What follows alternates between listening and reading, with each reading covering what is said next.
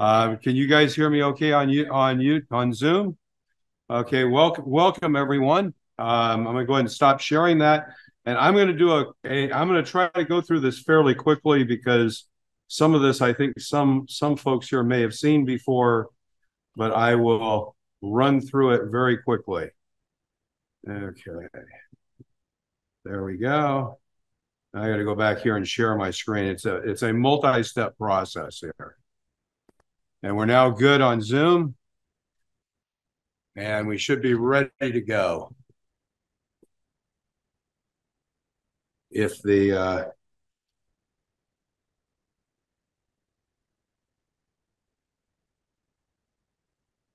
if the um, sorry, I can't get the the clicker thing here to go. Oh, I think I know what the problem is. I'm sorry. I think I have this in the background. There we go. We need to do this to this to this.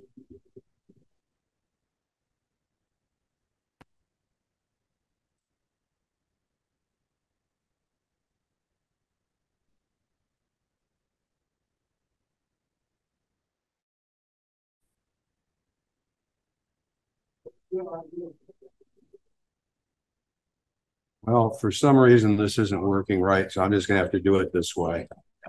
So I took some pictures of this. I'm just going to jump through these very, very quickly because you can go back and see them in the back. So th these were basically two kinds of buildings. What I'm going to do is go through kind of how they got constructed and how the thought process was. Um, most of you really know me, so I don't need to go through this. This is the California Central Coast. It's an ON 30 group.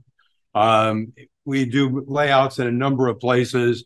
Um, I'm also part of the ACCRS out in Pleasanton doing O scale there. Um, on the California Central Coast, I started off by doing a module that was very much Sierra and then got more into the bottom two or more Central Coast. Uh, the tunnel, the uh, Mission Tunnel in Santa Cruz and Wilder Ranch, which is just north of Santa Cruz, trying to do those as modules.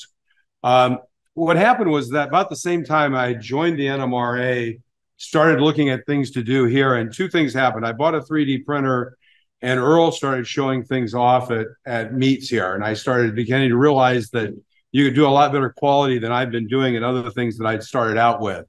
Um, at the same time, we needed a new modules for the layout and for the ON30 layout. Wanted to have a module that had more operating capabilities. So one of the things I wanted to do is get you know a number of sidings on a number of places to do switching to, make it a larger module. Um, I had a whole bunch of things I wanted. You can read through them there. They were all kind of around the idea of kind of a harbor scene and a more California harbor scene. So went through a whole bunch of designs um, this is actually the, the module. You can see the picture at the bottom.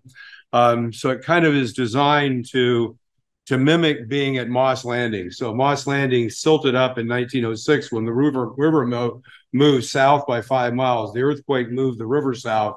Uh, what happened was it closed up. They did. They actually excavated in, I think it was 47, as part of the post-war building harbors on the coast. Um, I've kind of reimagined that that happened in the teens. So that lets me have a harbor. Um, for those of you who've been to Moss Landing, um, little square there where you see the, the purple square, that's essentially where the Duke power plant is now. So if you look right in front of that, actually in the Pajaro Valley Railroad, you can see it on the one on the left pretty clearly. Actually ran through there and had a Y. You can see the Y right here uh, for those of you online, you're not going to see this marks, but you can see the Y right here that ran out across to the sandbar, and then they had a wharf there. Um, so they actually were using that. This was this was pre 1906, pre the earthquake. Um, so what I've done is I basically laid out that the module could have theoretically been there. Um, some module construction pictures. I'm just going to skip over these, except that the buildings were built as boxes. Um, did that because that way you could drop them in and out. I wanted to be able to take them off the module because when you put these things on a trailer, especially when you run a U-Haul trailer designed to carry 3,000 pounds, you put about 500 pounds of modules in, they get destroyed. Um, this mounts so much, it's terrible. So the buildings were could get damaged. So I decided I wanted to make the buildings removable. So you can see there's a base there. and then there's masonite, and there's a block of wood that fits into the base, so the buildings actually can be removed. Uh, got a whole bunch of prototype photos. Um, so these are some. What was interesting was in 1906, because of the earthquake, they took a bunch of photos of things that nobody ever took photos of, because they all of a sudden got interesting as they were damaged by the earthquake.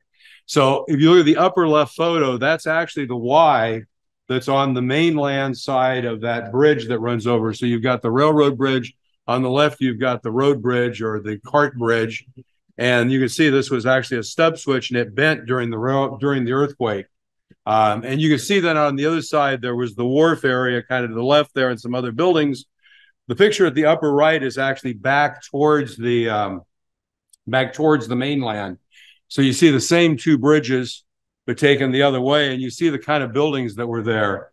Um, I also found as I was looking these pictures, I was looking for something for a fuel dock for a uh, for a the uh, some fishing boats, and I found this fuel dock in in Monterey. Um, this was actually the Standard Oil fuel pier, and it turns out that it was an L off of the main pier. So when a boat was parked there, you could actually go back and take a great picture across the water of the boat, but from the pier. So what happened is the the fishermen were primarily Sicilians. They'd have a big family day and invite everybody down to the ship and take them out on on Monterey Bay on the fishing boat.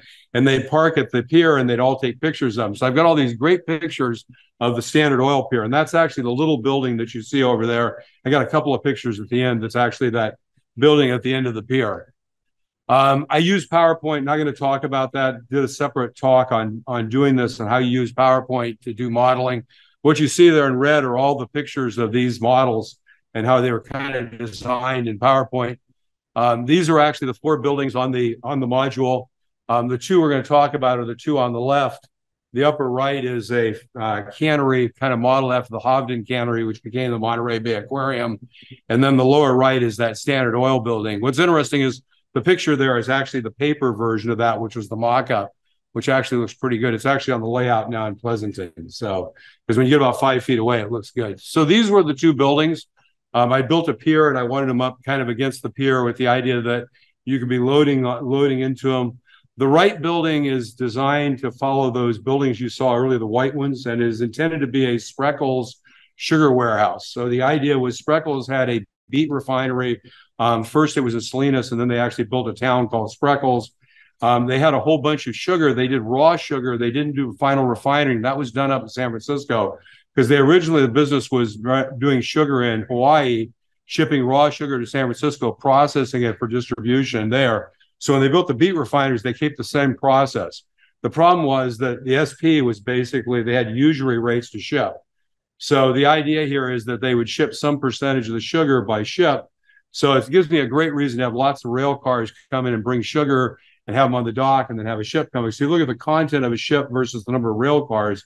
Turns out it takes 10 to 15 narrow gauge rail cars to fill in a small size ship. So it becomes a, an interesting kind of model. The left is actually Daniel's uh, express transfer. He was, this is actually a business in Santa Cruz back in about 1915. Um, so I started by building the buildings out of acrylic. So I figured they were going to be removable, they were going to handle a lot. You don't want to build stick built, they're going to fall apart. So I thought this, I'd seen people using acrylic, thought that's a great idea. Do eighth inch acrylics. So I built all three buildings out of acrylic. So the two buildings that are over there, you can see uh, built out of acrylic here. That's actually the Hovden Canneries. The third one, um, very simply cut it on a table saw. Um, the key to cutting acrylic on a table saw is really simple. Set your blade a nanometer higher than the acrylic. So it's not cutting down on it, it's scraping it up. And that way, if you set your if you put your blade up this high, when the, when the bits come down, they hit the acrylic, and where the corners of the bits hit, it cracks the acrylic. If you put exactly the height of the acrylic, just a tiny bit higher, it just scrapes away the acrylic. You get clean cuts. Uh, and by the way, I put tape on it. If you don't have the original plastic backing, just put masking tape on it too, and that helps keep it from cracking. So combination of masking tape and setting the blade height. Um, I also have one of those scroll saws that I had from being a kid, quite frankly, and use that for all the cuts that were in the middle, or like where you had to go in and cut a window. Uh, so that's one of those little buzzing, it goes up and down scroll saws that used to get for 69 bucks. I don't know if you can buy them anymore. Um, put them together just with the brass clamps you buy, and then use the glue that you get from um, that you get from uh, um, TAP Plastics. I bought the plastic. All the plastic came out of the the bargain bin there, the pre-cut scrap pieces. Um, by the way, if you know someone with a laser cutter, laser cutting this stuff is really great because you can actually laser cut it with tabs on the end and then just push those together and then hit it with the glue and it's going to be perfect. Put a little bit of square on it, it'll be perfect. So, um, you know, it's a great way to build a building with the acrylic as the outside. Um, this was the first building. That's the red one back there. Um, I started this one first because it was the easiest. Basically, the outside is covered with board and batten northeastern siding. Um, cut it, cut in where I wanted windows. Um, the windows there that you see, you know, those are just cut. The plexiglass, the acrylic is there, and the window frames. Sanded them, just took some sandpaper and sanded them until I got the mullions as low as I could. The mullions, the upper ones are off just a tiny a bit, but you quite frankly can't see it. Um, and I'll show you some pictures of that in a minute. Um, once I had the outside done, then I did the inside. The inside is just scribe siding. Um, just cut it to match. So basically, just this little bit of measuring to try to get it all to match up well. The outside was stained after it was put on. Oh, by the way, all this was put on with epoxy.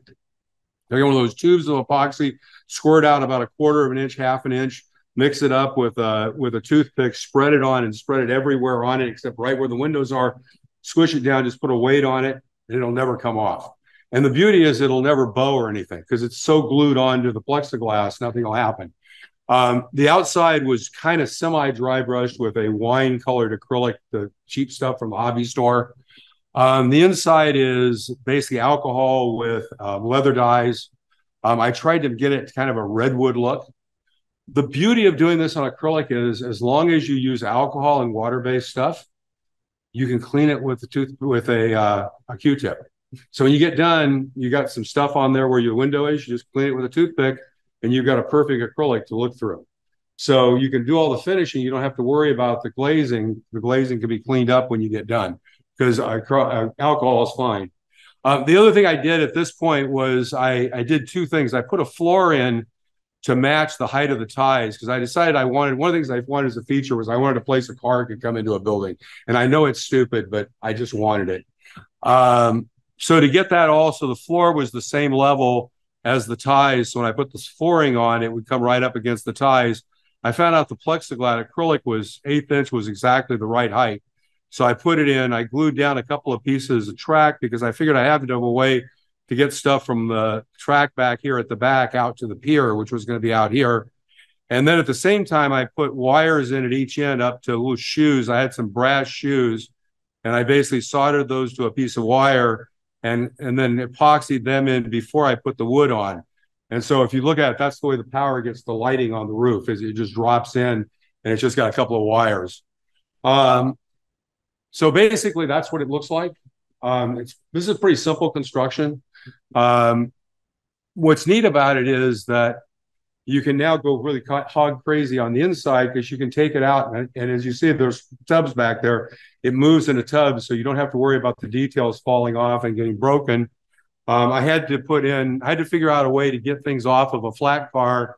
I thought about putting a little crane in there. I didn't like the way it looked so thought i'd build a, a gantry and figured it needed to be built like it looked like it had been there in the 1910s so basically just some wood, um, some pieces of plastic cut with an NBW on them, um, some styrene here finished. And this was a, I think this is an HON3 mine car that I ground the ends off of to make a carrier for the, uh, for the, the, there's a winch here. You can kind of see there's a winch right in here.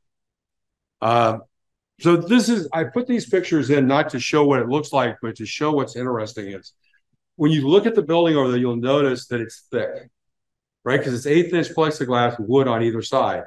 But what's interesting is when you looked at this picture here until I told you, did you notice that this little piece here, right here, is abnormally thick? You, well, you don't even notice it. And so it turns out the walls are thicker than they should be because walls should just be a piece of one by wood on the framing. This is actually a six inch wall on the framing. But it just turns out in any of these pictures where you see it, once you know it's there, you can kind of identify it. But until if you don't know it's there, you don't identify it. Um, this is a picture inside. Um, these were all 3D printed. Um, this was 3D printed just on a filament printer. This was some parts table. I think I found this at an estate sale. This was a, uh, I think this was a Wiseman piece. Um, and then I built a little cart there to carry the, uh, to carry things in and out. So this is what's interesting about this construction technique is these, th this is going through the eighth inch acrylic. And so if you put a car inside up against it, so you know that's very close inside, I mean, you don't really see the thickness of the glass at all. Um, down here, you can see it's focused on, this is focused on the glass, not on what's inside, but you still see what's inside. Get up close here, you can see through and get a great picture. What's really interesting is if you look really close in this picture, you can see the wood that's cut on the inside and you kind of see there's something a little weird there. But the reality is when you look at this picture, you can't see it. Um, and in fact, if you don't, if you really don't know that it's the eighth inch plexiglass, you probably wouldn't know it's there. So anyway, the roof very simply, uh, also acrylic. Uh, put these gussets in. The gussets have a wire around them. That's what hits the shoe. Um, I 3D printed the uh, these trusses and put lights in, and that was actually what led to an interesting thought process. So I said, "Well, I need trusses. Need to have something there. I'll 3D print them." Um, then I started looking at the building sitting next to it, which is actually the it's actually sitting back there underneath the roof. Um, and it's actually a, a plexiglass box. And I said, well, that's eighth inch plexiglass. Um, I'm cutting, I'm doing eighth inch framing for the timbers. Why couldn't I 3D print all the framing for the building? Uh, that was, by the way, one year thought, maybe a year plus thought process to go through that. It took a long time to do it. So again, this is the building that I decided to do. It's that that warehouse. That's really the only pictures I have of it. Again, taken there during that time frame. What I wanted to recreate was kind of this long, slow slung building with kind of a portico out front and some windows on it, and then some doors, because that seemed to be the kind of warehouse they had. So this was kind of the design I came up with. Um, what you see is kind of the front, the two saw ends, and the back, which has uh, doors that have to be right up at the track level. Uh, so I had to figure out how to manage that inside. Uh, what I did was I divided it down because the print bed in my filament printer is only eight inches. So you had to take 20, the 20 inch piece and cut it down. At this point, I kind of decided that's how it looked and I wanted to change the design. So I moved over and did the design from there into FreeCAD. Now, quite frankly, if I was to start this again, I probably would have done it in Tinkercad. Um, but for the roof, FreeCAD was very good. FreeCAD is a um, open source version of Fusion 360. Um, and because it's open source, it has some weirdness. So different pieces don't work exactly the same because they were written by different people. So it's a little bit different, but it's a fairly powerful CAD tool. So what you see here is actually, you know, the decision was this was going to be a six inch piece of wall. This is what the framing ended up looking like for that wall. Um, so this is actually what one of the wall elements looked like in FreeCAD. Um, what you see is a couple of things that were interesting here. These holes right here, up here in the corners. I'm sorry, I got out of the picture for those of you on, on Zoom. Um, these holes up here in the corner, up here in the upper right, um, I can actually do them this way and then everybody can see them. I can't. I can move it over here. Hang on. There we go. This hole right here, that's an alignment hole. So the idea is you just put a little piece of wire in it, and then when you put them together, it holds the two walls in alignment. Um, I'll go ahead and start passing that around. So you can see these are those are three pieces, and they're glued together at the corners with epoxy. Um, so at the top, at the top up here, these pieces up here at the top are designed to hold the trusses in place. Um, and that was actually I printed a couple of versions without that, and then figured out I needed trusses, so I ended up adding those. Uh, and you'll notice that the cross piece, the cross members here are only half thickness. So they're actually designed to give some depth to the wall. And I'll talk about that a little bit more kind of in the next slide. Um, so these are the design steps in FreeCAD. I, am not going to spend a lot of time on it, but you know, if you've ever done anything, this is it. FreeCAD and Tinkercad are different. Tinkercad is a graphic 3D assembly kit. FreeCAD is basically a drawing package where you extrude into 3D space. So think about Tinkercad's like like the together with Tinker. You grab the different pieces and put them together. In this, you have to draw things and extrude them. So this is, gets more complicated. But for this, it's actually not bad. So basically, you draw a wall, extrude it. You remove what you don't want, which gives you this flat piece. I added in the windows and stuff based on some heights as individual little pieces, added in a piece over the door, added in the cross brace piece, added in across here at the top the uh, the clips for the uh, for the roof. So I'm not going to make this a 3D CAD thing. It's just basically if you've done CAD, you understand how to do it. Um, so that's basically what the wall looks like. Then you take it and you put it into your your slicer.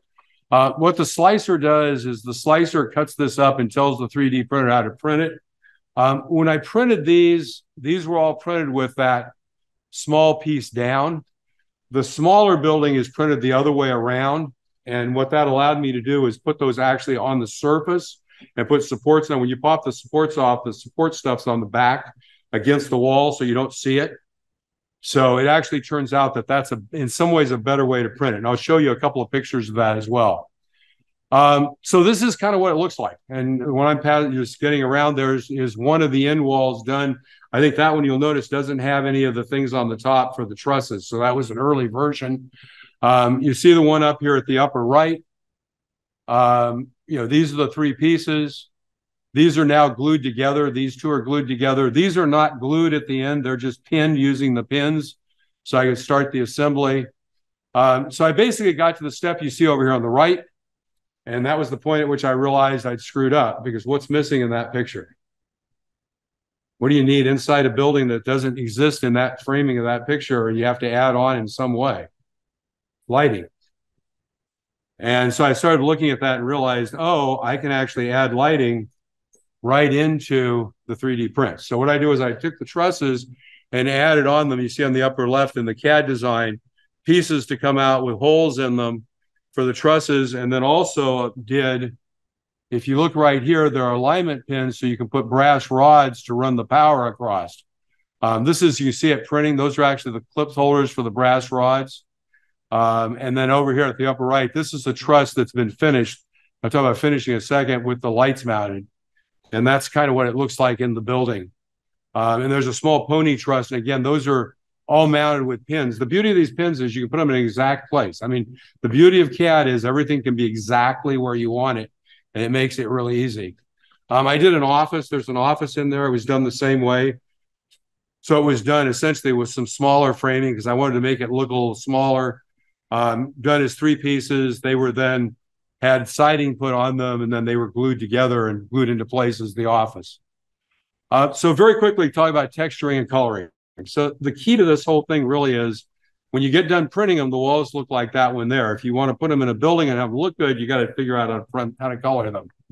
So the first thing is a technique, and I don't remember where I read about this, but I have to give attribution. Somebody's talked about doing this. You basically use a thing called filler primer. And filler primer is they sell it at Home Depot.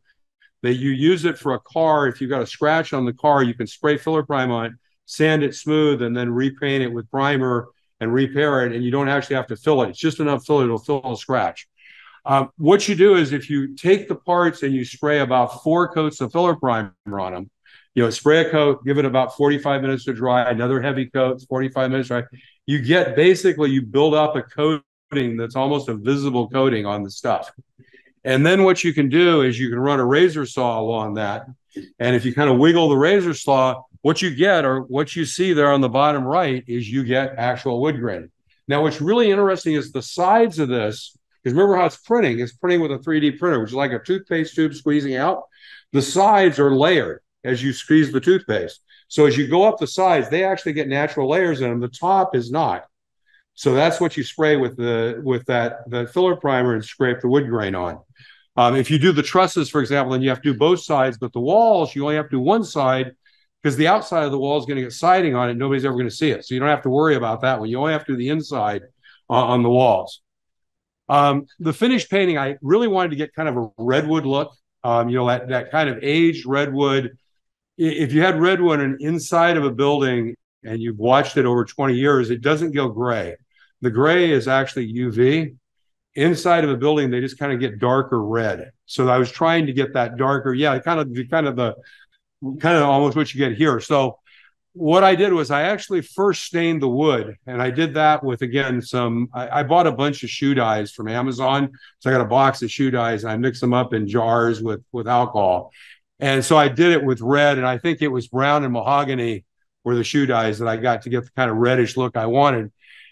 Once I got the wood done, then I had to paint the I wanted to paint the plastic to match the wood. So I ended up trying first doing lighter light colors and then doing darker dry brushing, and I found I just couldn't get it to look good.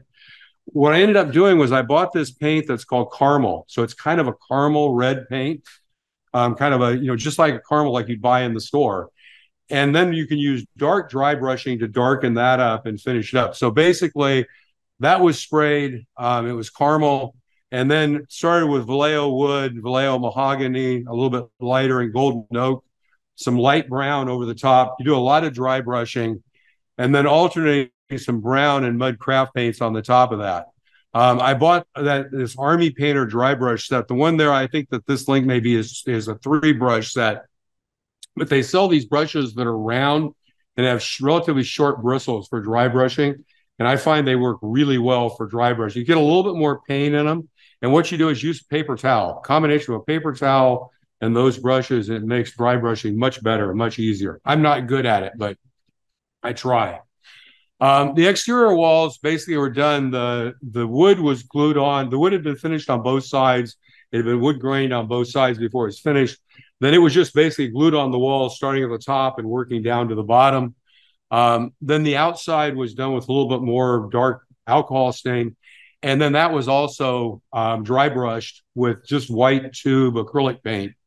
And then wire brushed afterwards with, you know, one of those 299 for three of them at Harbor Freight, those wire brushes, and just brush it on there and brush some of the paint off. And then I think I hit it with a little bit of alcohol after I got done with that to give it a little bit dark, a little bit darkening.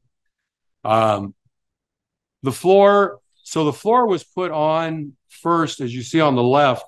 I figured out where the doors were going to be because I wanted some wood on the doors to come out. And then I cut the floor so that the the frame structure, when it's glued together, would glue right over the floor.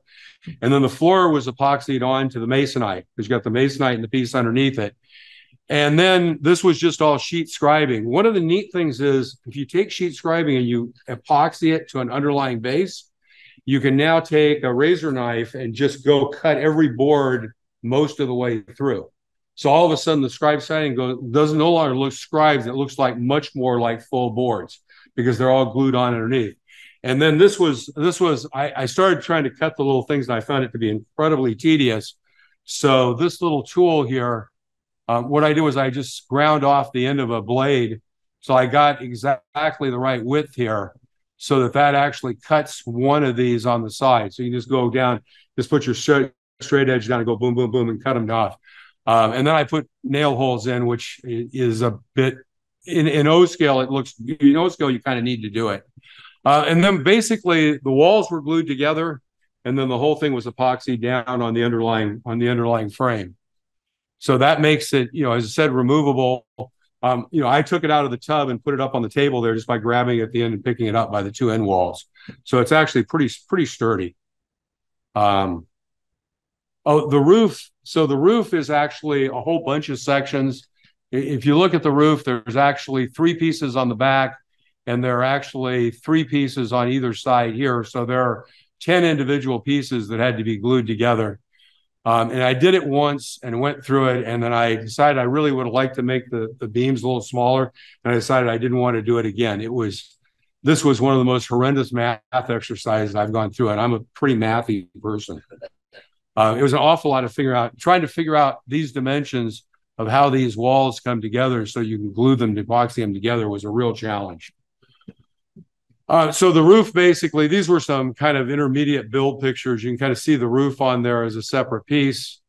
Um, the roofing was just is the O, o siding. They sell they sell two kinds of roofing. They sell a corrugated roofing and a panel roofing. Um, this was done with the corrugated roofing. I cut it to the length I wanted. I think they were 10 feet, 10, 10 feet, I think was what I did, 10 by four, I think. Um, then they're just, you know, put on a stick up here. Um, put on a stick up here to to spray. Find a really light gray um, primer to spray them with, and use that Dr. Ben's on them to rust them.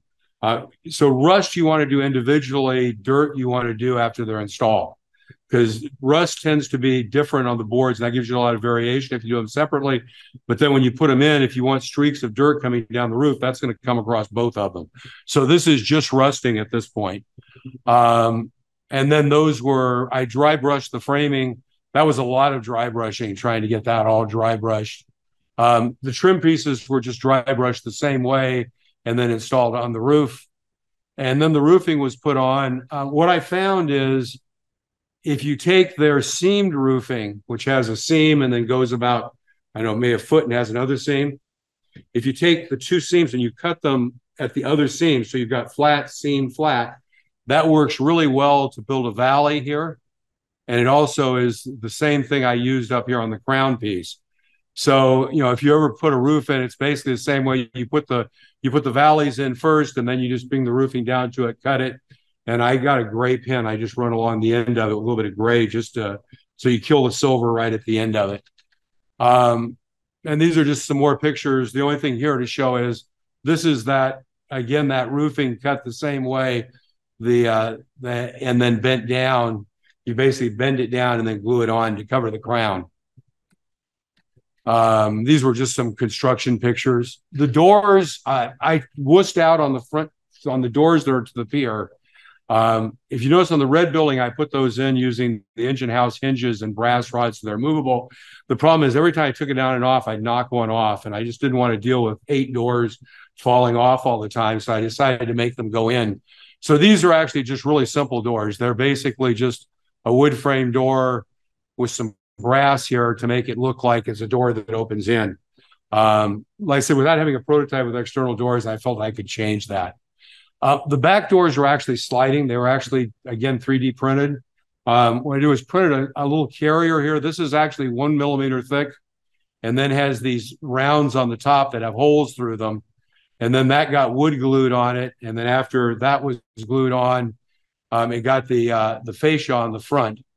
Uh, those actually, what happens is these round pieces at the top actually have a hole through them, and the carrier has a hole through it. And I put a rod through there. Um, turned out, went to the hobby shop to um, try, Hobbies Unlimited over in San Leandro, and they do a lot of model model airplane stuff. And they had carbon fiber rods they didn't have any brass. I was going to buy a brass rod, but they only had carbon fiber. So I bought a carbon fiber rod, tough to cut. I cut it with my Dremel saw.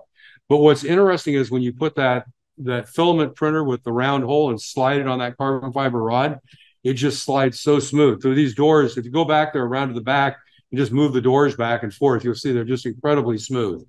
Um, so basically, that that you know did the doors. Um, then I had I realized that I had to have something inside. It's a sugar warehouse. You've got to have sugar sacks.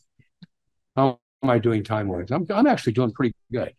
Uh, I had to have sugar sacks, so I I didn't want to buy them. They're you know five four dollars for twenty, and a couple of them are like uh, ones that are sitting down. So you only get about sixteen for your your four dollars. And that seemed a lot because it looked to me like I needed about a thousand of them. So I basically did a you know simple simple, uh, made a simple set of them and glued them in, made up a silicon mold.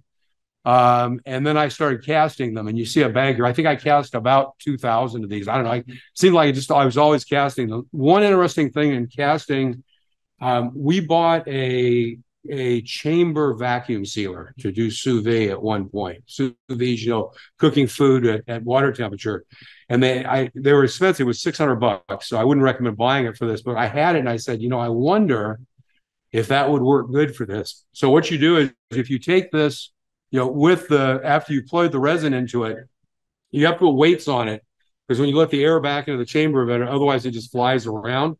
But what you can do is you can put weights on it, take the vacuum down a bit, and just let it sit there, and it'll actually hold it for about two or three hours and you just let them sit in there and it actually gets the bubbles out.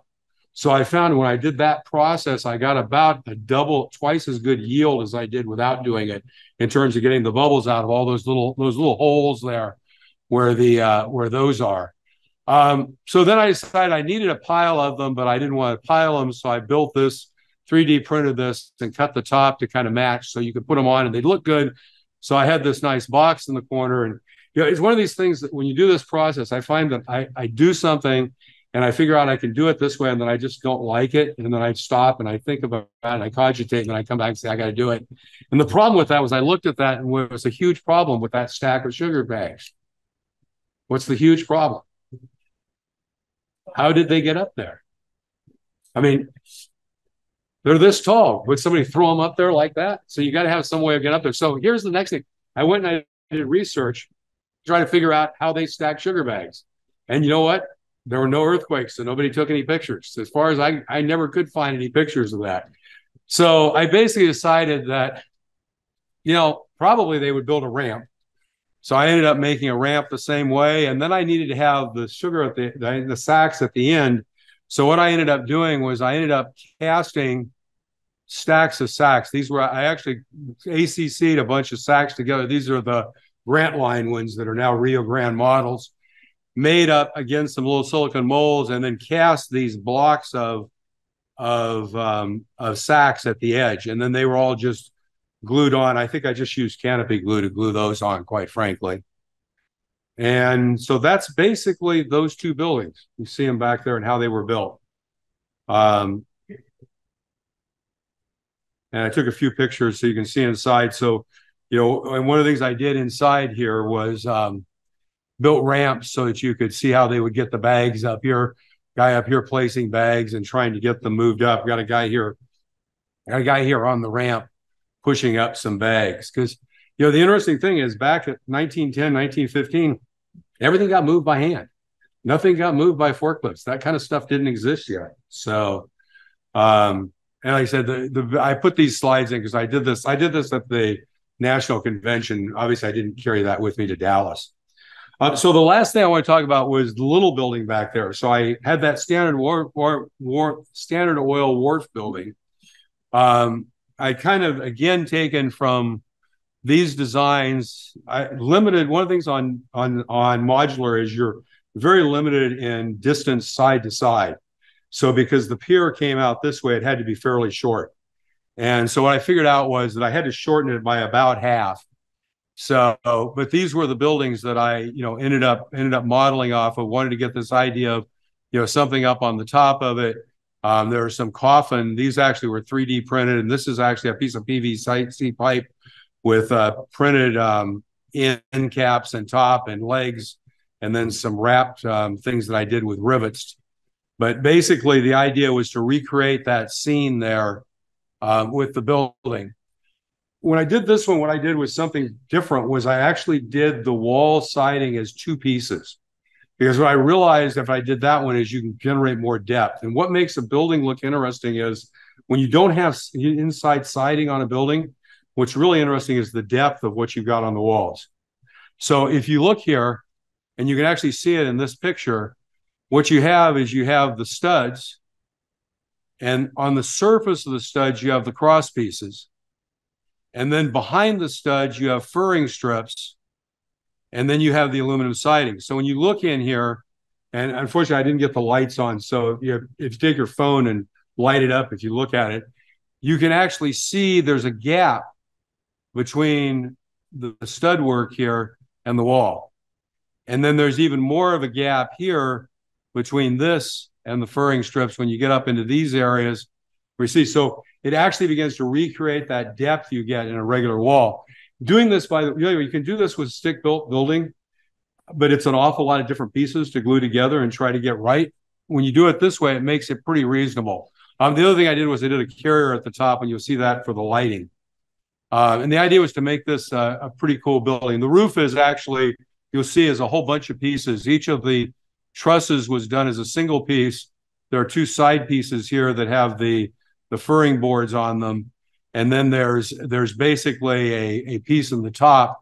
This was printed as two pieces and glued together because when you're a filament printer, you only get dimensionality really in one direction up. If you want to have things go up and down, so if you've got something you want that on both sides of, you cut it in half, print it twice, glue it together, and then you've got a single piece. Um, so this was the assembly process. What you see up there at the upper left are basically all the pieces. So, you know, this is the end wall with the door. This is the furring strips for that. This is the end wall without a door, furring strips for that. Um, and then these are the two side walls here, these are the uh, the two side walls here, and these are the furring strips. They're, these are turned 90 degrees to these. That's why it makes it hard to see. Those actually run across those. Those are the carriers for the roof. Those are the trusses. This is that that top piece of the roof already glued together as a single piece. And then these are just Tichy windows and a Tichy door. I think Grandt Line windows actually and a Tichy door. And so the assembly steps are really simple is you glue basically after you do the paint finishing, you glue the furring strip to the appropriate wall, and then you just start putting those together here. And you know they get again clamped together. They have they have guide they have uh, guide pins in them top and bottom. Get clamped together and glued. Um, I did a little carrier here on the top for the lights. These are 3D printed light fixtures here with just an LED on them. These are designed to sit on the edge walls and you carry a brass rod to carry the lighting. Because when I did this, I knew I was going to want to do the um, lighting on the outside, so I needed more light capability. So this is kind of what it looked like uh, taking a picture there on the on the module, uh, and kind of inside. You know, you again you can see here really that dimensionality you get in the walls, which makes it look very realistic. Um, you know, and you can see it even when you look in the side windows. Uh, so last thing is uh, smaller wall sections. Um, so I have I have a bag of parts here I can pass around. That's a low scale. Actually, I have a whole bunch of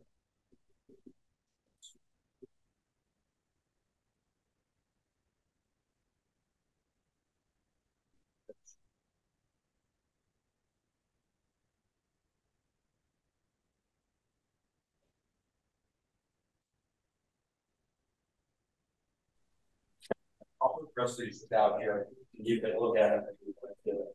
And I'll pass this. Sorry about for those of you on on Zoom. Sorry about that passing stuff around. So I actually passed these around. These are two by four wall sections, um, printed in HO and or excuse me in in O and HO scale, and they're actually the ones I'm following around. The smaller one is obviously HO. The larger one is is um, is O.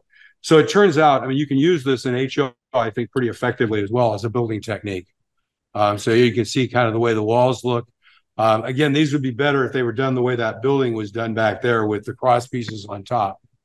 Um, so kind of to close, um, some learnings and regrets. Um, make sections smaller than you think. It's, it makes it easier to print them um, together, but that worked out pretty well the way it was. Um, filament wise, oh yeah, that that that's the interesting comment one. That, that that's actually in here. Um, use gray or lighter filament. So not clear, but gray seems to be the ideal filament because the darker you get, the more color pigmentation it has to have in it. And the more color and pigmentation, the harder it makes to get it to print well. So the gray filament seemed to work pretty well. Um, print flat, smaller sections down like I said, those walls back there were printed with the cross piece on the top, which meant there were supports underneath it, but just pop the supports off and you never see where it connects because that's on the back side towards the, the siding. Um, side grain looks like wood. Heating does not remove warps. So that one piece I was passing around that's all warped and weird, that was one of the roof pieces that came out and it was a little warped for some reason. And I thought, I have an oven that goes to 135 degrees. I'll put the oven on 135 degrees, put it in there and let it. Yeah, it doesn't work. It just basically becomes weird. Um, if you want to straighten something out, there are two ways to do it. Turn the bed of the heater on to the 200 degrees, put it on there and put weights on it, and it may settle out if it's a thin piece. But what I found is actually better is get a bucket of water and fill it with really hot water so we keep our water heater fairly hot, but so it's probably 140 degree water. And then what you can do is put the part in it and just let it sit for 15, 10, 15 seconds, take it out and feel it, and you can start moving it. So I did an O scale, you know, railer, like the, you know, the railers you get in HO where you put them down, you roll a car down them. Didn't want an O scale, and the fingers on it at the end ended up being weird when it got printed and I put it in a bucket of water, lay it, then took it and laid it out on a towel with uh, weights on it, and it smoothed out perfectly. So a bucket of water is the way with filament printing to try to get things straight. and, and, and doing that even so you may not succeed. Um, painting the filler primer is really important on the visible surfaces. Um, dry brushing is just becomes really important. I this whole process convinced me that dry brushing is the skill you really need to have in model railroading. Um, I was very concerned about that paint. That caramel was a semi-gloss paint because I thought it might show up afterwards, but it turned out after it had been dry brushed, the gloss just completely went away. So it just didn't matter at all. And you can see back there, there was not dull, there was not dull, it was not dull coated on the inside. Um, I might rethink the floor mounting, um, the way it's done. It'd be a little problematic at the edge of the walls. Um, the window dimensions can be very accurate. I was a little loosey goosey, but um, in retrospect, as I've done it more, I've gotten more and more accurate. Um, I would have made the roof member smaller, like I said, but I decided it wasn't worth the effort. Um, the wiring, if you look at it, the trusses that don't have lighting are removable. The ones that have lighting are soldered into the lighting. The lighting basically runs front and rear. So it feeds from, you know, positive feeds from one side, negative from one side across those brass rods, which hits all the lights. So, and then they're just basically wires that run kind of daisy chain across the building. There are some center light poles in the middle. Um, anyway, that's, I think, about it. Yeah.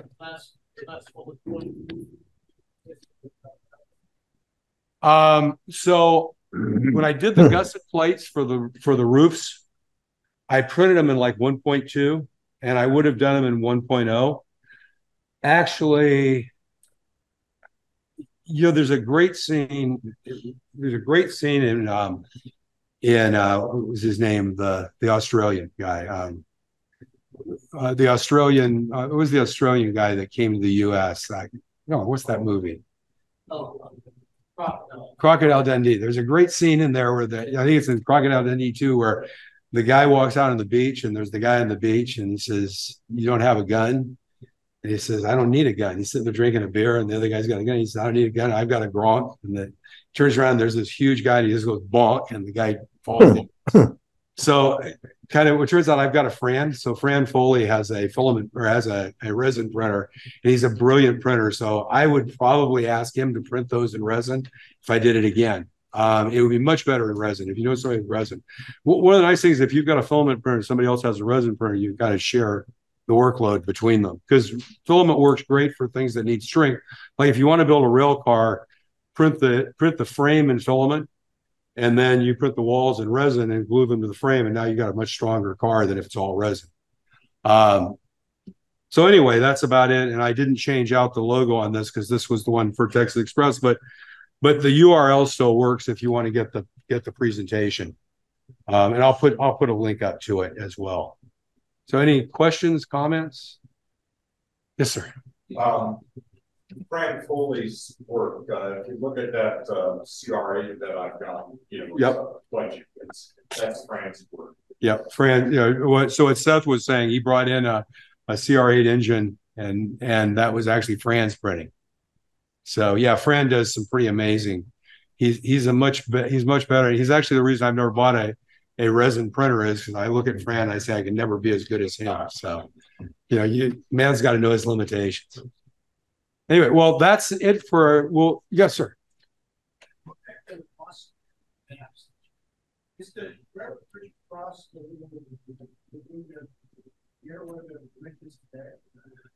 It, it is fairly close to where the current road bridge is exactly that was where they used to be. And I think they kind of turned into the road bridge at that same place because that was there was a you know or there was a road bridge, but really you, how do you call it a road? It was a cart bridge, and then there was the railroad bridge that ran out there.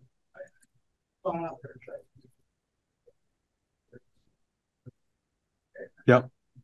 Um, and actually, I have a separate separate thing I did a couple of years ago that actually was kind of the whole process I went through with building signing the module which might be interesting. Has a lot of stuff in it. So I think I think it's somewhere online. I could find it. Well, anyway, we're going to take a we take a 10 minute break. 10 minutes good. And then the much more interesting clinic is Earl. And talking about animating and making things much more interesting in the models. And we're gonna have pizza, so I assume everybody's interested in having a piece of pizza, so we will buy pizza for everybody. Cool. So ten minutes. Thanks, guys.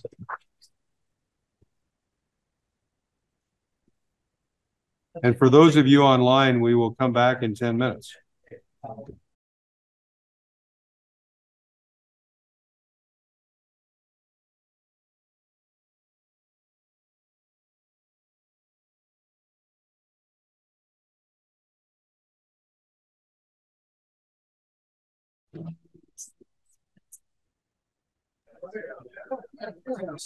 Okay, everyone, we're gonna go ahead and get started now. Um, with Earl Girbovan. And he's gonna demonstrate why he is an MMR. Okay, so, why he is a master model railroad That's a designation you get. okay. So there's a hint, I think I'm on.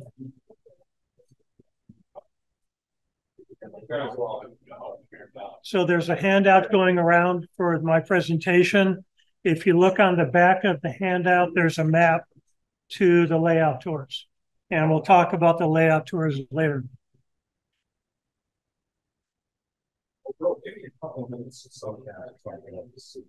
Yeah, we'll have time for it. And Seth, there's extra copies up here if we need them.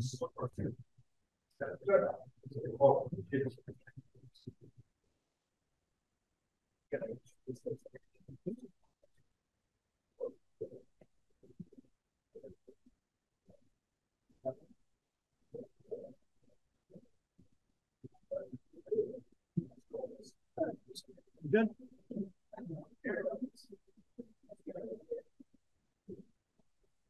So before I get started with the presentation, um, like all you guys, I've got a whole big pile of magazines sitting around home that, you know, one day I'm going to go, through and pull out the articles and clean them up. And I've actually started doing that. And I pulled up a Model Railroad magazine.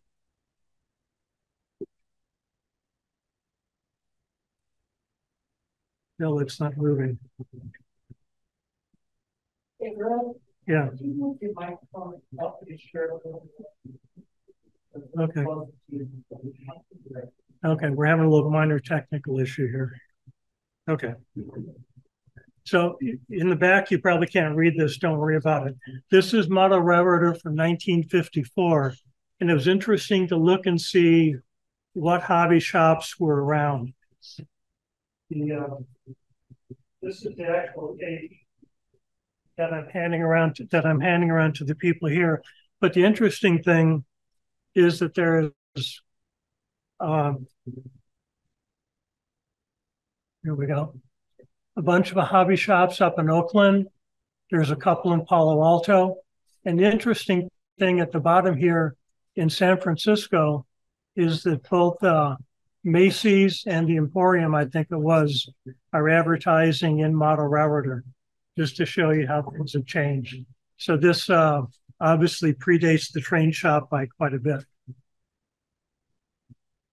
So what I want to talk about today a little bit is things that kind of brighten up your layout and kind of bring a little more life to them. You know, the the trains are the only thing that move on most layouts. Everything else is kind of dark and static and sometimes not too interesting. So as I've been working on different people's layouts, we've kind of done things to add some interest and just make them kind of a little more realistic. You know, we'll talk about lighting a little bit and we'll talk about animation. You know, animation gets hard. Everybody thinks of Lionel animation where it goes bang, bang, bang, bang. And you want something that's more realistic. You can't see it from the people at home, but in the front here on the table is my elevator building. And that's been running here since we got in. There is an elevator that moves up and down, and it moves up and down randomly between floors with random time delay between floors. So it's not a regular thing, it's a random thing like you would have in the real world. And finally, you know, one of my goals is to cost you guys money sometimes. So there's some really neat 3D printed parts that are coming out. uh, that I want to share with you. So, you know, it was hard to do animation, you know, some years ago, and there's a lot of things that have really enabled us to do it. You know, Phil talked a lot about 3D printing. A lot of that we're doing. The LEDs are more are less expensive. There's more form factors you can work with. Uh, there's a lot of other hobbies, especially robotics, that there's all kind of really neat parts out there today that are inexpensive. And you know, if you don't mind paying Jeff Bezos' uh, yacht gas fee, Amazon can get you stuff in a day or two, things that you would just never have thought were available. So this uh, picture, and I guess you guys, I assume you guys can figure out which layout this is. This is fine scale. This is George Sellios. This picture with the uh, with the illuminated building was kind of the thing that got me into thinking about lights inside of buildings that just to brighten them up. Obviously, if you want to do a night scene, you know, the lights really show up. But the lights all show up also show up in the daylight. I'm sorry? We did? Am I there now? No? If I move it up. I already moved it up. Am I there now? Okay, hang on. It says I'm on.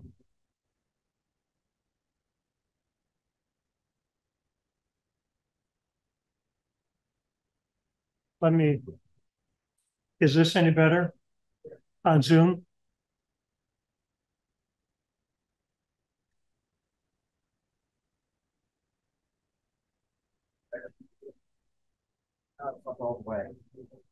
Testing one, two, but it's not on Zoom.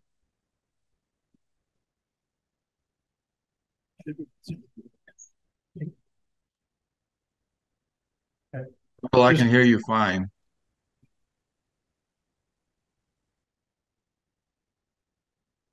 Okay, I'm going to keep going until we figure out the technical issue. So this is an area I'm working on on Ted Stevens layout. And, you know, the buildings are okay. They kind of, they sit there, but they're kind of dark. And then if you put lights inside, you can see that the windows are kind of lit up. And let me go back. Sorry for the different camera angle. But you can see that, you know, just brightening up the windows a little bit just adds a little more interest to the buildings. Otherwise, they're all just kind of black holes.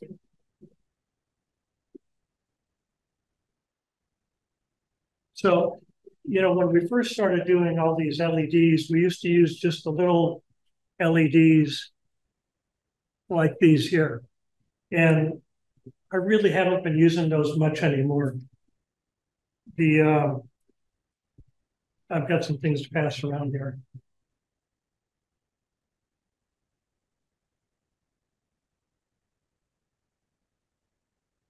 So one of the things are these really small 40 mil uh, LEDs, and I just passed a bag around of about two or three of them. And if you're wondering, are those bright enough to do anything?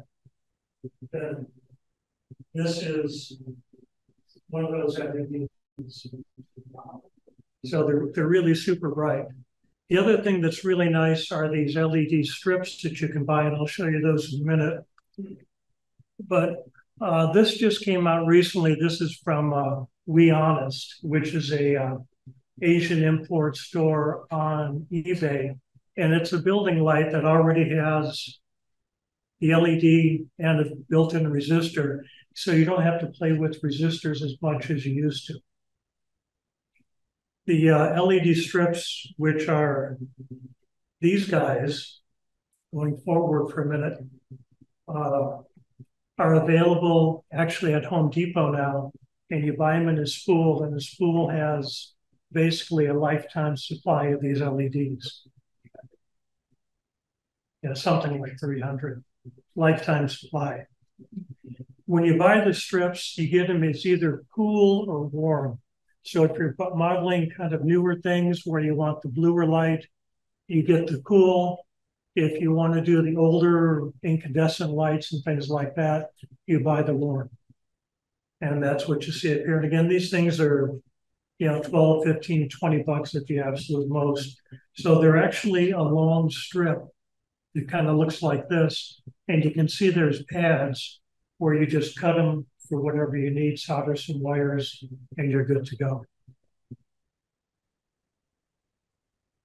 If you want to tint the LEDs, there's a product called Gallery Glass that Michaels carries, and it comes in a number of colors.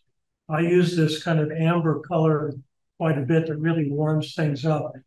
Don't try to put the amber over the, the bluish light because you get this weird alien green light. Okay, so kind of buy the color that you need. Tamiya has this down here. It's a little bit harder to find, but the uh, gallery glass, think of it as tinted tinted Elmer's glue. It works really good for just tinting the lights. And also, if you need to make something red, uh, which we'll get into in a minute or two with you know fire and things like that, you can tint the LEDs. one of the things with LEDs that people get winked out about is the resistor. You got to have a resistor for the LED. So people get worried about coming up with the right resistance. You don't got to do that. Okay. For most resistors, I power everything off 12 volts. For most everything, I put in into 2K resistor. It works just fine. The, the LEDs are rated for 20 milliamps you really don't need to and you don't want to run them at 20 milliamps. Run them half the current, you know, it's still more than bright enough to last forever. I'm sure the, uh, for the little chip ones, uh, like even half that is. Yeah, so Seth was saying that even, you know, five milliamps for the small stuff. If you play with resistors, you'll see there really isn't that much difference in the brightness and it just kind of protects them from you. So as I've said down here at the bottom, you know, for a single LED, you know, 1K for five volts and 2K for 12 volts. That's all you have to do. And it's best to do one resistor per LED. Don't start daisy chaining them unless you need to. You know, these things take basically no current. You know, you can run 100 LEDs up for one amp and, you know, it just makes it easier. Don't, don't try to get fancy. So once you start thinking about lighting up interiors, then you have a problem. You got to put something in them. Well, one of the things people do is tint the windows. You know, you take some dull coat, spray it, and dull out the windows. But you know, if you have foreground structures, you can do a lot of detail parts in it. Uh, maybe you don't want to do that. So there are uh, 3D. There there are printed interiors that you can buy from people, but you know, if you go online, and that's both of these images are things I've gone online and just found things with uh, Google Images, print them, and make your own interiors. If you want to stick people inside, there are figures available. These are, you know, the Asian import.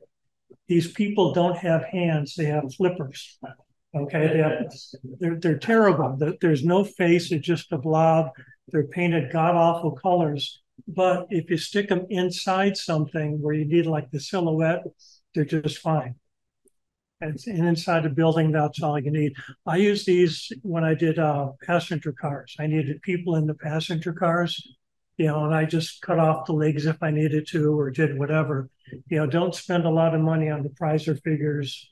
You know, just buy these cheapy ones.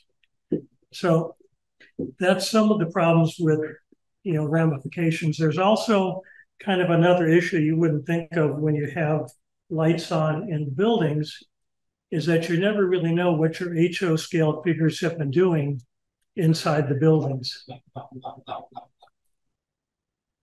But uh, yeah, okay. So the other problem is light leaks. When you start putting lights inside the buildings, uh, this is a building I was working on. It's a they're masonry windows you've got gaps all around the window and you got to seal them up or it just doesn't look good on the finished building. So if you've ever built a fine scale miniature kit, one of the things that George Sellios talks about is how to do roofing tar around roof stacks and things like that. So his method is this, which is 50-50, give or take, glue and whatever color that you want to use. And by the way, this is just like a credit card or a hotel room card or something like that. I use these for, for like putting glue on, you know, and picking up with a toothpick or something, as opposed to paper or cardboard. So if you just take these, mix them together, put them on a toothpick, and this is a just a, a sharpened flat toothpick, you can get just a real small little dab of it and come around, you know, whatever gaps you have and fill them in. Or if it's a bigger gap, sometimes you can get in there with the paintbrush, but typically, you know, just come in here with a sharpened toothpick with whatever color you need. So continuing with, with uh, the idea of lighting, the uh, I think I introduce it. So there's I've been doing a lot of gooseneck lamps, and these are kind of lights over a sign on the entrance to a building. There's a company called Microlumina that's out there. Also, they come under engineering, and both of these are on the handout that you can go on to. They have come, they have this 18 mil diameter stainless steel tubing, which in round numbers is two inches in HO. And if you think about the 40 mil LEDs that I passed around, that's about four inches in HO. So you're talking scale size light bulbs and scale size conduit to mount the lamps in. So if you take some Tichy reflectors, and then they have a, a bending fixture that you can actually use to bend this gooseneck, although I would think it might work with a pair of chain nose pliers. But you can actually bend the uh, the tubing to look like a gooseneck lamp. And again, this comes out to be scale size. It works out really nice. They also have 25 mil diameter stainless steel tubing. So, and it telescopes on top of the 18 mil. So if you need some really small pivots and things like that, this works out really good. They also have this LED tester, and for the people that are here, I passed it around with an LED just to kind of show um, what it looks like. Also, with these really small LEDs, there's a fellow named Alvin Ho who's made working tricolor N scale signals. And this is again that 18 mil or so diameter tubing. And you can see kind of the wiring on the back. This is probably six or eight wires running down that tube. So these are scale size, pretty much N scale signals. We're going to let the train pass here.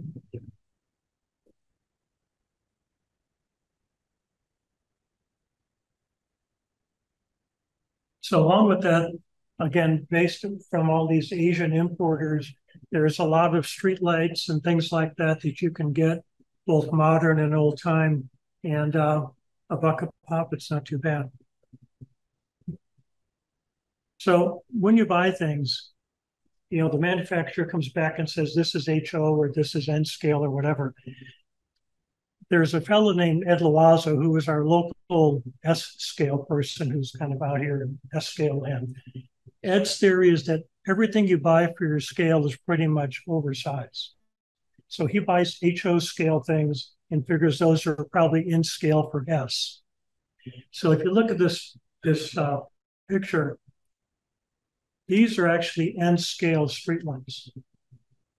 And I think they kind of look more HO than N. We did them as kind of coach lights, like for a more formal intro to this hotel. But uh, I think they actually look a bit more HO. So you got to find ways to connect all this stuff up under the layout. So. So there's, if you go online and look, there's a whole slew of different connectors and things like that. Usually when I'm wiring up building lights, I'll put spade lugs on the end of the wires because I don't know about you guys, but going underneath the, the layout kind of up like this, trying to hook up wires just doesn't work. So with uh, a spade lug, you can get on a terminal strip and uh, just hook them up real easy. What I'm passing around, and you guys can play with it if you want, is this connector. This is a push connector. So if you just push on the little end, you could connect and disconnect the wire. This has been, I've been using these for hooking up the street lights because you can just push the little wire in. Typically, I'll, I'll solder the ends of the wires that are stranded just to kind of strengthen them, but just push them in here, slide them, and they work really good. And this is just a uh, power distribution. So all of this in a row is uh, one are all joined together. And you just, you know, stick a wire in, screw them down. Well, I made some of these, um, also variable. Output of this, and if you stop by my, I'll show you. Okay. So Seth is saying he's built some of these up too, and we'll talk. You know, he's got quite a few things on his website, and we'll talk about some of those in a bit here. So moving on, what we've looked at so far is just lights that turn on, turn off. But with Arduinos, there's things you can do to actually animate it. And this is one of the first things we did. These are some beehive uh, brick kilns on Seth's layout. And we looked at them and said, you know, we can we can do more with this. So if you're looking now, you can see that the lights are flickering inside the brick kilns. And it actually looks good. So again, we got some things kind of happening here. Now, before Arduinos came along, you used to have to wire everything up, you know, with individual wires and it was kind of really a pain in the butt. With Arduinos now, you know, the Arduino chip really is this, and it's a computer on a chip. And these things are, depending on the city, the economy, five or six bucks, maybe a bit more. You get a board that looks like this, put it together, and for 10, 15 bucks at the most, you have something that can do something you just program it and it, and it kind of goes. So when you program an Arduino, you program at the version of C. You do it on your desktop computer, compile it, download it into the Arduino, and it runs that program forever. So there's a site called Instructables. And this is one of the first sites I looked at when I was doing Arduino and the flickering flame that you saw on these uh, beehive kilns and other things uh, pretty much came from this software. And it's this many lines. I've gone in and tweaked it on a number of things, but it's all pretty straightforward. And I talked about the gallery glass earlier, the tinting of the LEDs. So you can buy one color of LEDs and tint them, or you can buy you know, different colors. The interesting thing is if you change the LEDs from the red and amber to like a blue and white, all of a sudden you've got a welder. So now we've got some guys kind of welding the pipe over here with scale size LEDs. So the Arduinos are not just on and off. You can also vary the intensity. So if you watch, and this one's going to be a bit easier to see on this side. We now have aircraft warning lights on top of these towers. You can see the left-hand one, actually both of them kind of going on and off. So again, kind of just some animation, some interesting things going on. So Arduino has a couple of really interesting functions to make all this randomness work. First off, there's delay. You can just say, I want to delay X number of milliseconds to give you some timing. but you don't want to have the same time all the time. So they have a random function and it, you give it a minimum and a maximum. In this case, you know, 3000 to 5000 millisecond. It picks a random number between basically three and five seconds and delays. And the nice thing, and I've got that on my elevator company too, it doesn't do the same thing every sequence. There's random times in between things. On this elevator company, for instance, the floor numbers again are random. It just picks a number between, you know, the first floor and the fourth floor and just goes back and forth with a random time between floors. And it works really good for something like this. So this again is going to be a welding company, but the guys aren't welding all the time.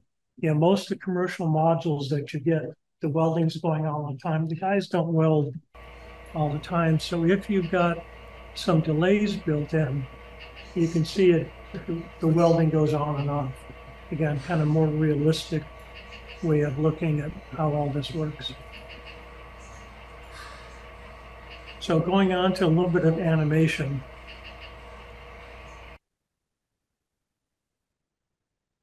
Yeah, I mentioned some enabling technologies.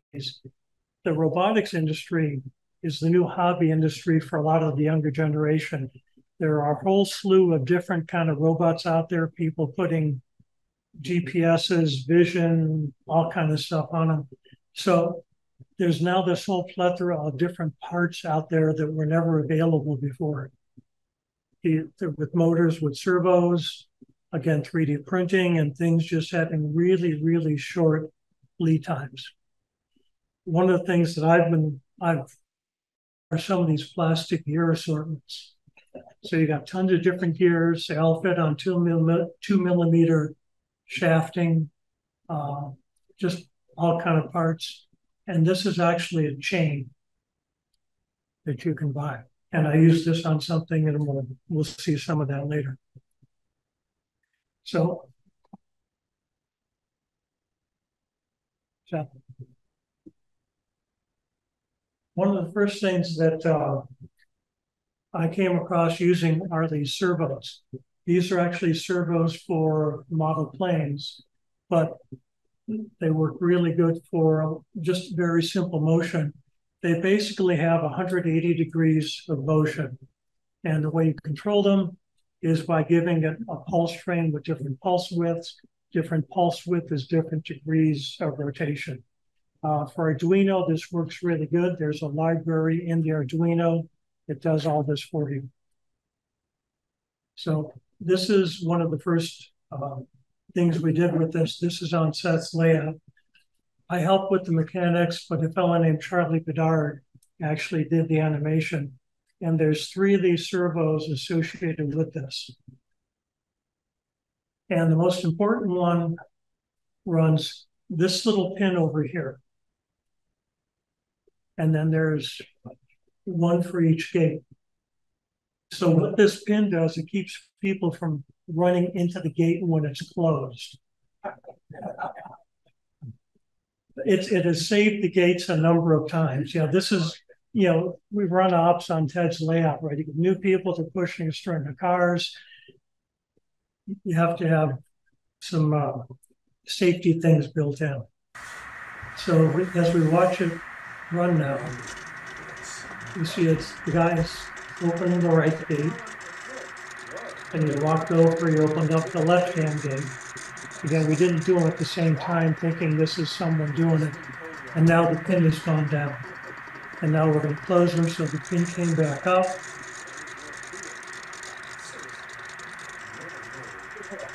And we're closing the gate.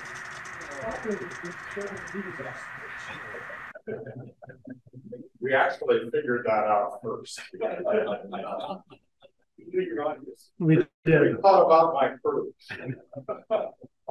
This is literally saved the gate a couple of times. Yeah. So the other interesting thing that's out there are stepper motors. And uh, I don't have one handy. So these, if you know what the stepper motor, I think there's some motor stuff. So stepper motors are some are just move in discrete steps. And the stepper motor that, that we're using and showing here, I think it's 512 steps per revolution. It's geared down. You can move it pretty slowly. And again, there's an Arduino library that controls all this. Yeah, I showed before some boards you, you can buy that, uh, you know, the Arduino patches into. This requires a driver board, so you can see the driver board up here. Yeah. You don't want to deal with, you know, doing the driver board and cabling everything together. Seth has a couple different boards on his website. Uh, you saw one in this previous slide. Down here in the corner for controlling a servo. And there's also one, this actually a dual stepper motor board. So you can talk to Seth if you want to play with some of this Arduino that all the all the wiring, all the interconnects are there. There's terminal strips to plug in a home sensor for all that. You know, Phil talked about 3D printing, and when you're doing mechanics, sometimes you need mounting and bracketry and things like all that. So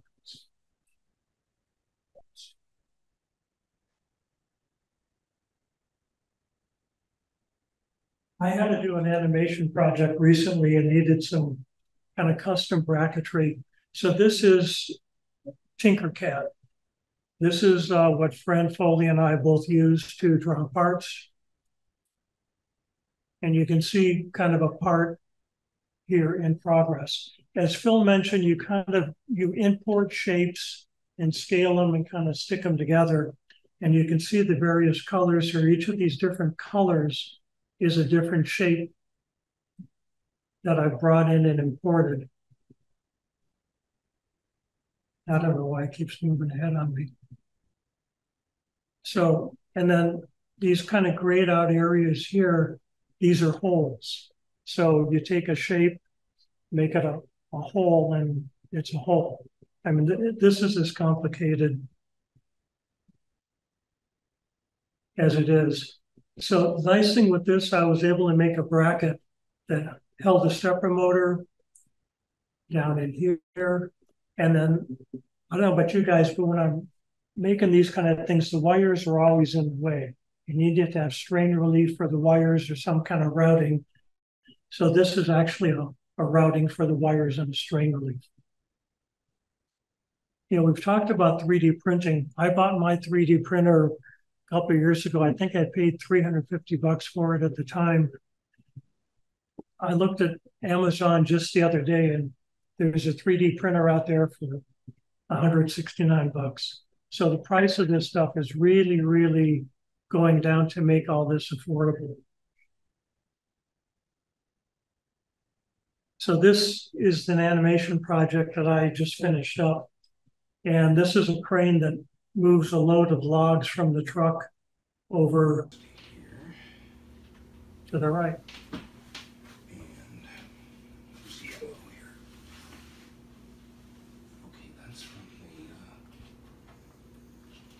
that's from here. Okay, and I didn't put a black down yet. All right. Um, okay. Oh, John? And you can see that it kind of moves at probably typical could speeds. You, um, throw This the, uh, move is, takes about a minute to do. turn out? Yeah. Ah. Okay, now. Well, that's weird. Okay, what's going on now? Okay, so we have the frog to the correct side here, right?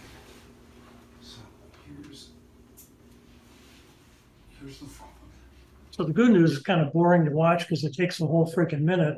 But if you were doing this in real life, it would probably take even longer time than this. So I, I mentioned a little bit earlier about these really neat Arduino functions, right? About delay and random, how random is really good. Well, random has a problem.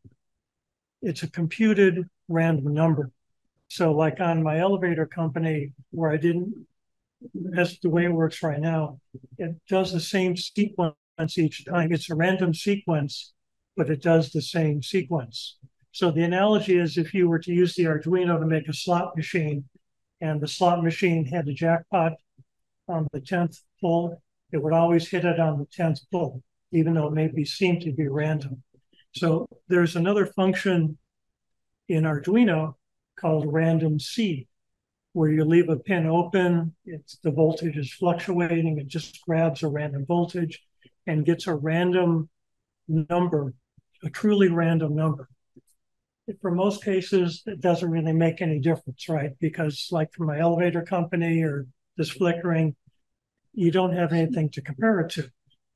On the other hand, if you have something that has multiple things at the same time, and I, this is my uh, ore loader that was at the Rohnert Park convention a couple years ago. That if you guys were there, and you should have been, you would have seen it. And this is uh, six ore loaders running with six Arduinos, the ones that I showed you that Seth built, running simultaneously. And again, I did the random seed so that all of this motion is random. Otherwise, you would get the two things next to each other tracking all the time. There's random delays each time. There's random speeds, like you would have in the prototype, different guys running them at different speeds. And it just runs back and forth.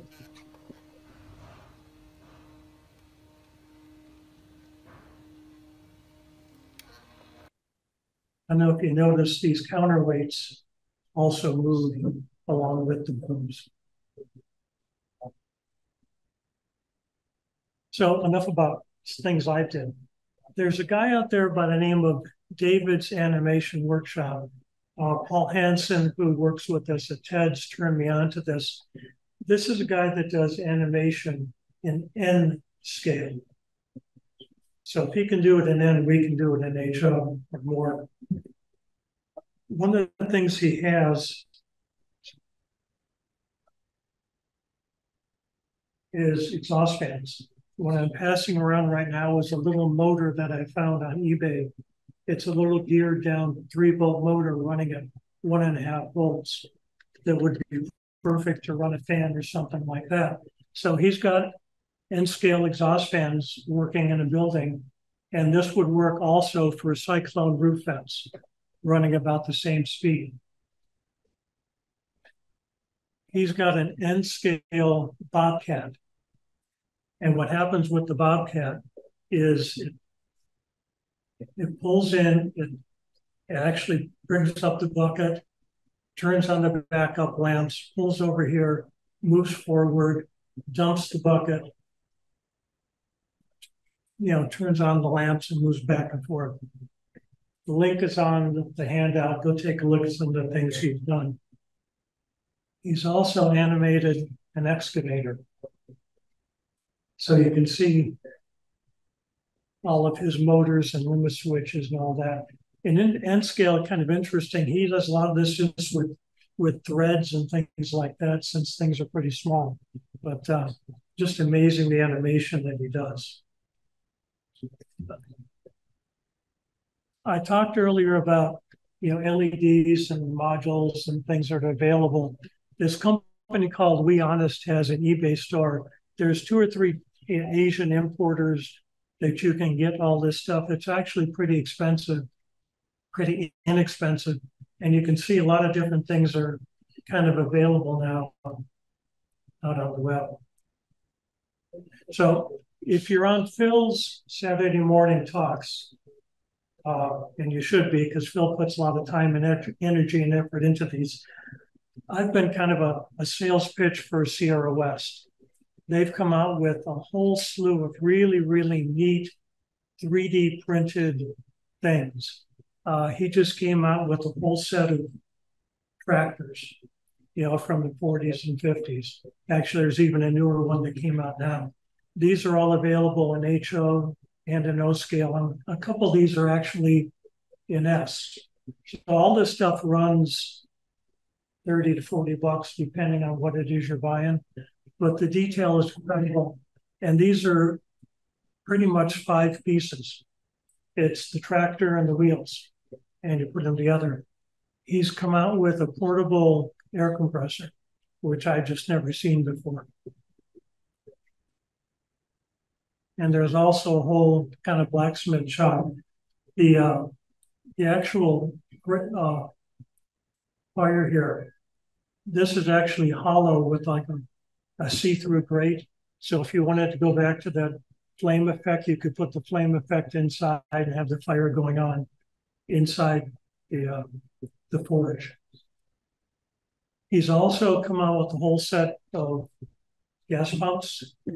There are in both HO and O. There are Coke machines with Coke bottles or beer bottles with individual bottles. He's got the bottles in clear plastic. Just incredible kind of thing. These are the old loopsters that you had at the gas stations, how you bought oil.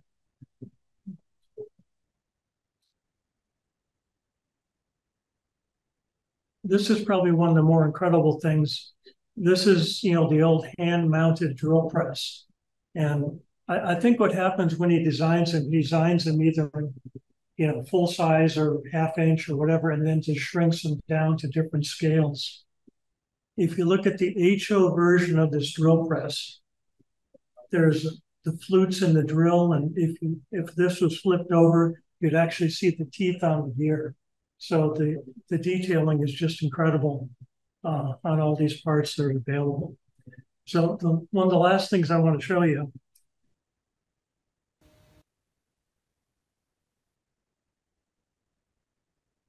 in the way of costing you guys money. We all use the Elmer's glue, right? And those orange caps, after you use them for a while, kind of gum up. You can't clean them. You say a lot of bad words. You can't take them apart. I found these on uh, on Amazon, and again, these part these screw on to the Elmer's glue bottle. So for 13 bucks, you get 36, you got a lifetime supply. And when your caps get all screwed up, you know, put these on, you can unscrew them and clean them. And it saved me a lot of grief and aggravation. So anyways, what I hope I showed you is just some of the things that you can do to kind of bring some life and some animation to your layouts.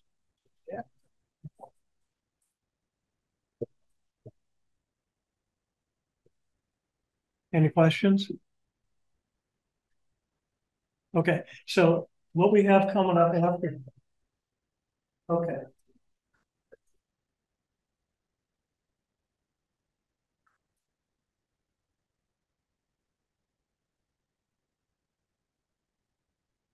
Okay, so there's a question about LEDs. Let me go back up.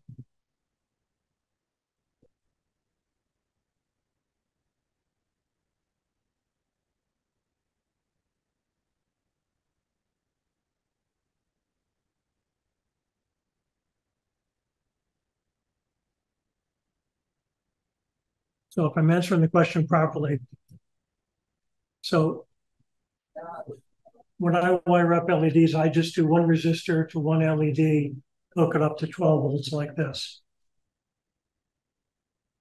If you start daisy chaining them, some of these wires are really small diameters, they break, they're hard to solder.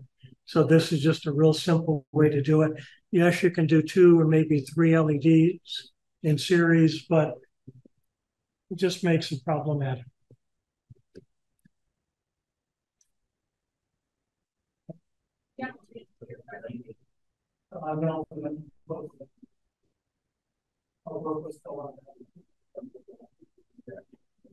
Okay, on to layout tours.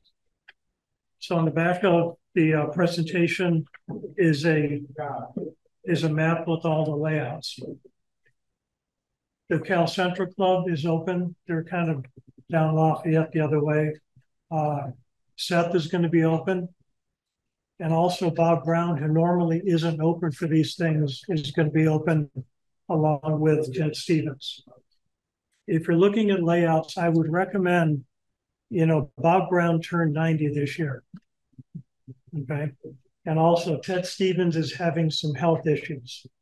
So if you're going to see layouts, I would kind of recommend making sure you get up to see those two layouts uh, today as you go. Ted's layout, Ted Stevens' layout is in an industrial building. It's an industrial tilt up. It's not a house. So as you pull in the driveway, you'll have to go down the driveway a little bit. We'll have the crosswalks out to show you where the layout is. The entry to the layout is via the back doors and the doors will be open. And Seth is going to be open. I'm of halfway in between. Yeah, and Seth, you can see is kind of in between. What we tried to do is cluster the layouts together so you guys wouldn't be driving all around. So I think with that, uh, okay, come on up. So we're gonna uh segue over to Seth for just a minute for the signage. You'll get it. Oh, wow. Oh, louder voice. Uh, yeah, project. Uh, just short and sweet, the uh annual Bay Area. What, oh, talk to the, talk to the hand. All right, uh, uh, annual Bay Area. Uh, SIGME, the design and operations will be in Santa Rosa. The main program will be Saturday, February third. Uh, as usual, the week between playoffs and Super Bowl. And uh, we're going to have some tours available on Friday, early in the app or mid afternoon to get you north of the Golden Gate and the San Rafael bridges before the uh, awful North Bay traffic starts. Uh, there are several hotels in the area if you want to stay over. Uh, the main clinic and uh, panel program will be on Saturday, and we'll have uh, tours Saturday evening and Sunday we'll have uh, tours and op sessions. So you know there'll be more on the list and more in the uh, Coast Dispatcher and the branch line. Thanks.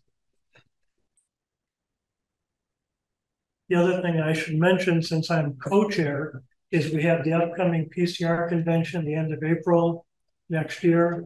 We are going to have the hotel rooms bookable on, online in a couple weeks. So please plan on attending that.